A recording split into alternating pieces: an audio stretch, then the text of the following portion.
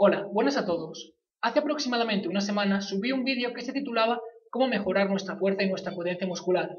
En este vídeo lo que explicaba era que utilizando bandas de resistencia o gomas elásticas podíamos mejorar mucho nuestros levantamientos porque de esta manera aprendíamos a acelerar mucho más los pesos. En consecuencia, producíamos mucha más fuerza y mucha más potencia, por lo tanto la mejoramos mucho más. Como mucha gente me lo preguntó, he decidido que voy a hacer un vídeo específico para cada uno de los levantamientos que yo utilizo para que de esta forma aprendamos a colocar las bandas y cómo utilizarlas correctamente. ¿Por qué hago esto? Pues porque me gustaría empezar a subir mis récords personales en los diferentes ejercicios utilizando las gomas elásticas.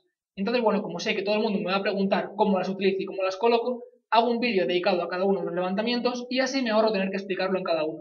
Así que bueno, vamos a explicarlo. Como vais a, como vais a observar, realmente es muy sencillo colocar las gomas de resistencia.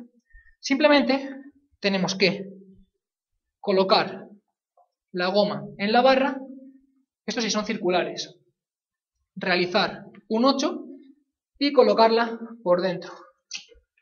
Lo metemos hacia adentro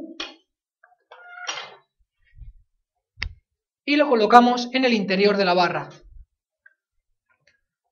Como podemos observar, se queda en forma de 8.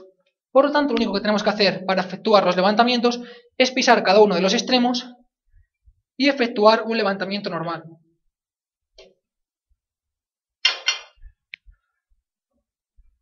Esta es la forma de utilizar las bandas de resistencia cuando son de forma circular.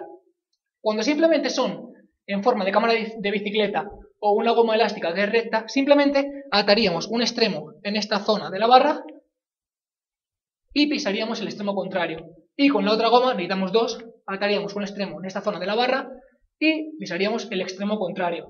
Como veis es muy sencillo, pero es muy útil. Así que bueno, nos vemos en los siguientes vídeos, espero que os haya sido útil. Bueno, pues tratar de explicar cómo las coloco en los diferentes básicos. Así que nada, nos vemos, un saludo a todos.